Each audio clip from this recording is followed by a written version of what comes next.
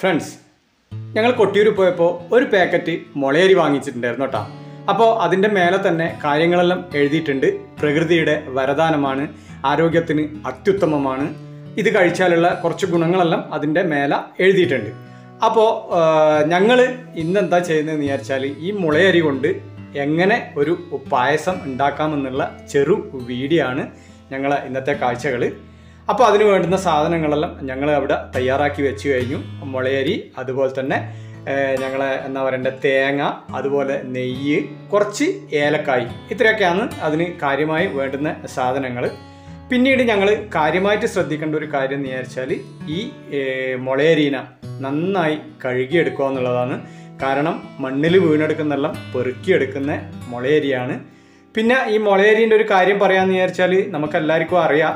കാരണം എന്ന് വിചാരിച്ചാൽ ഒരു മുളയരി ഒരു മുള തളിർത്ത് അത് അതിന്റെ ഏകദേശം ആയുസ് എത്താറാകുമ്പോഴാണ് പൂത്ത് ഇതുപോലെ അരി നമുക്ക് സമ്മാനിക്കുന്നത്. അങ്ങനെ ആ അരി പെറുക്കിയെടുത്താണ് അവർ വിൽപ്പനക്ക് വെക്കുന്നത്. അതിന്റെതായ വിഷമങ്ങളും കാര്യങ്ങളെല്ലാം അവർക്ക് ഉണ്ടാവും അപ്പോൾ നമ്മൾ എന്ത് വേണമെന്ന് വെച്ചാൽ ശ്രദ്ധാപൂർവം കഴുകി അതിൽ കല്ലെല്ലാം ഉണ്ടെങ്കിൽ അതിനെ അരിച്ച് മാറ്റി വേണം നമ്മൾ പൊടിച്ചെടുക്കാൻ വേണ്ടിയിട്ട്. പൊടിച്ചെടുക്കുക എന്ന് പറഞ്ഞാൽ മിക്സിയിലിട്ടിട്ട് നുറുക്കിയെടുക്കുക എന്നാണ് കേട്ടോ. കാരണം ഇത് മൂവന്നെ ഇട്ടിട്ട് ഒരിക്കലും പായസം വെക്കാൻ പാടില്ല വെന്ത് കിട്ടൂല എന്നുള്ളത് അവർ പ്രത്യേകം പറഞ്ഞിട്ടുണ്ടായിരുന്നു. എന്താ വേണ്ടതെന്ന് വിചാരിച്ചാൽ വെള്ളത്തിൽ കഴുകി എടുത്തതിന് ശേഷം മിക്സിയിലിട്ടിട്ട് നിങ്ങൾ അതിനെ നുറുക്കിയെടുക്കുക കണ്ടില്ലേ? ഈ കാണുന്ന രീതിയിൽ നുറുക്കിയെടുക്കുക വേണ്ടത്. നുറുക്കിയെടുത്താൽ മാത്രമേ ഇതിനെ പെട്ടെന്ന് നമുക്ക് വേവിച്ചെടുക്കാൻ വേണ്ടി പറ്റൂലൂ. ഏകദേശം നമുക്കൊരു ആ ഗോതമ്പ് നുറുക്കിന്റെ ആ ഒരു രൂപത്തിൽ കിട്ടും. അങ്ങനെ അതിനെ ഈ നുറുക്കിയെടുത്തതിന് ശേഷം ഞങ്ങൾ ഉരുളി അടുപ്പത്ത് വെച്ചത് നിങ്ങൾക്ക് കാണാം. ആവശ്യത്തിന് വെള്ളം ഉരുളിയിലേക്ക് ഒഴിച്ചു. വെള്ളം ഉരുളിയിലേക്ക് ഒഴിച്ച് നന്നായി തിളക്കൊന്നും വേണ്ട. ഒരു നല്ല ചൂട് എത്തിക്കഴിഞ്ഞപ്പോൾ ആ നുറുക്കിയെടുത്ത മുളയരീന വെള്ളത്തിലേക്ക് ഇട്ടു. കണ്ടില്ലേ? അതിനെ ഒന്ന് ഇളക്കി യോജിപ്പിച്ച് അവിടെ വെച്ചേക്കുക. പിന്നെയും ഇടക്കിടക്കെല്ലാം ഇളക്കി കൊടുക്കണം കേട്ടോ. അപ്പോൾ അങ്ങനെ ഇടക്കിടക്കെല്ലാം ഇളക്കി യോജിപ്പിച്ചതിന് ശേഷം നന്നായി തിളച്ച് കുറുകി വന്നിട്ടുണ്ട്. കണ്ടില്ലേ നിങ്ങൾ ഈ കാണുന്ന രീതിയിലെല്ലാം കുറുകി വന്നിട്ടുണ്ട്. ഇനിയും നന്നായി വേവാനുണ്ട്. കുറച്ച് വേവ് കൂടുതലുള്ളതാണ്. എന്തായാലും ഒരു അരമണിക്കൂറിൽ കൂടുതൽ വേവ് ഉണ്ടാവും അങ്ങനെ ഏതാണ്ട് ഞങ്ങൾക്ക് ആവശ്യത്തിനുള്ള ഈ വേവ് കിട്ടിക്കഴിഞ്ഞു. ഞങ്ങൾ അതാണ് നോക്കുന്നിപ്പം കണ്ടില്ലേ? അങ്ങനെ നേരത്തെ ഞങ്ങൾ തയ്യാറാക്കി വെച്ച ഈ വെല്ലം കുറുക്കിയത് കണ്ടു. ഈ രീതിയിൽ വെല്ലം കുറുക്കിയെടുത്തിട്ട് ആ വെല്ലം കുറുക്കിയത് അതിനെ ചേർത്ത് കഴിഞ്ഞു. കണ്ടില്ലേ? ഈ രീതിയിൽ വെല്ലം കുറുക്കിയതും കൂടി ചേർത്ത് വീണ്ടും നന്നായി ഇളക്കി ഇളക്കി ഇളക്കി യോജിപ്പിക്കണം. ഒരു പായസം തയ്യാറാക്കുമ്പം അതൊന്നും ആരോട് പ്രത്യേകം പറയേണ്ടതില്ല. അടിക്ക് പിടിച്ചു പോകും അതുകൊണ്ട് ഇടയ്ക്കിടയ്ക്കേ ഇളക്കി കൊടുക്കണം. കണ്ടില്ലേ? ആ വെല്ലവും കൂടി ചേർന്നപ്പോൾ നന്നായി ഒരു ചുവന്ന കളർ നമുക്ക് അവിടെ കിട്ടിക്കഴിഞ്ഞ. ഒരു പായസത്തിന്റെ ആ ഒരു രൂപെല്ലാം ഇപ്പം നിങ്ങൾക്ക് അവിടെ കാണാൻ വേണ്ടി പറ്റുന്നുണ്ട്. കണ്ടില്ലേ? വീണ്ടും ഇളക്കിക്കൊണ്ടിരിക്കുക തന്നെയാണ് കേട്ടോ അപ്പോൾ നേരത്തെ ഞങ്ങൾ ഇത് മുളയരി പൊടിച്ചെടുത്ത് അതേ മിക്സീന്റെ ജാറിൽ തന്നെയാണ് തേങ്ങ നമ്മൾ ഒതുക്കിയെടുക്കുന്നത്. കുറച്ച് വെള്ളവും ചേർത്ത് തേങ്ങ ഒതുക്കിയെടുത്ത് ആ ഇത് പാലടക്കമുള്ള ആ ഒരു സാധനം ഞങ്ങൾ അവിടെ ചേർത്ത് കഴിഞ്ഞു. കണ്ടില്ലേ? ഇതിനെയും നന്നായി ഇളക്കി ഇളക്കി ഇളക്കി യോജിപ്പിച്ച് കൊണ്ടുവരണം.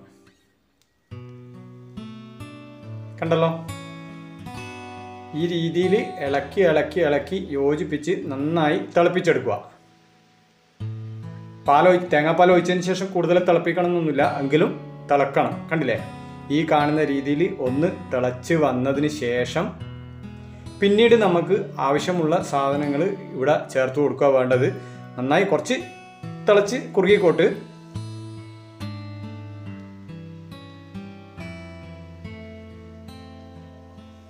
കണ്ടില്ലേ? ഈ രീതിയിൽ തിളച്ച് കുറുകിയതിന് ശേഷം ഏലക്ക ഇപ്പം മഴക്കാലമാണ് നന്നായി തണുത്തു പോയിട്ടുണ്ടാവും. അപ്പോൾ ഒന്ന് ചൂടാക്കിയിട്ട് പൊടിച്ചെടുക്കുക. കണ്ടില്ലേ? ആ ഏലക്കാപ്പൊടി പൊടി നമ്മൾ അതിലേക്ക് ചേർത്ത് കഴിഞ്ഞു. അതിനുശേഷം കുറച്ചുപ്പ് ഒരു മേമ്പൊടിയായിട്ട് കുറച്ചുപ്പ് വെള്ളത്തിൽ ഉപ്പുണ്ടാവും. എന്തായാലും അതിന്റെ കൂടെ കുറച്ച് പൊടിയുപ്പും കൂടി ചേർത്ത് വീണ്ടും ഒന്ന് നന്നായി ഇളക്കി മിക്സ് ചെയ്ത് പിന്നീട് നമുക്ക് ഇതിനകത്തൊക്കെ അത്യാവശ്യമായിട്ട് വേണ്ടത് നെയ്യാണ് പശു നെയ്യ്. പശു നെയ്യ് വേണ്ടുന്നവർക്ക് ചേർക്കാം. വേണ്ടാത്തവർ ചേർക്കണമെന്നുമില്ല. അല്ലാണ്ട് തന്നെ നല്ല രുചിയായിരിക്കും. എന്തായാലും ഞങ്ങൾ കുറച്ച് പശു നെയ്യ് ചേർത്ത് കൊടുക്കുന്നുണ്ട്. കണ്ടില്ലേ? ഇത്രയും പശു നെയ്യും ചേർത്ത് അതിനെയും ഒന്ന് യോജിപ്പിച്ചെടുത്ത് കഴിഞ്ഞാൽ നമ്മളെ അത്യുഗ്രനായ എന്താ പറയണ്ടേ മുളയരി പായസം ഇവിടെ തയ്യാറായി കഴിഞ്ഞു.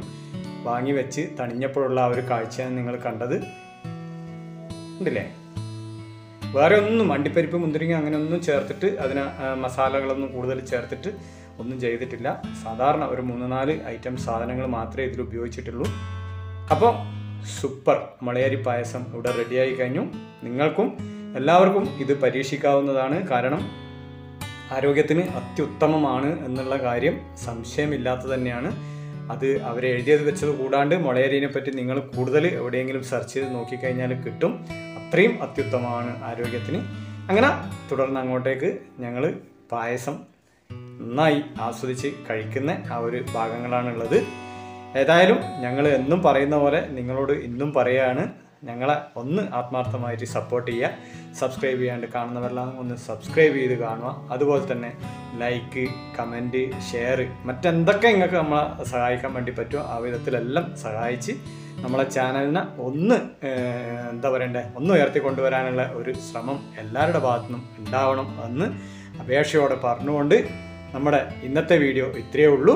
വീണ്ടും ഒരു വീഡിയോയിൽ കാണും വരെ എല്ലാവർക്കും ബൈ ബൈ